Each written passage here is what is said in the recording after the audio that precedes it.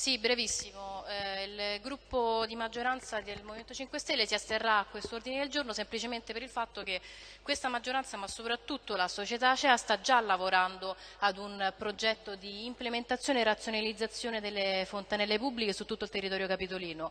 Ovviamente, come sapete, abbiamo, stiamo ancora vivendo questo periodo di di crisi, quindi eh, non è facile insomma, la riapertura delle fontanelle nel, nel, brevissimo periodo, però questo è l'intento aziendale e dell'amministrazione di Roma. Grazie.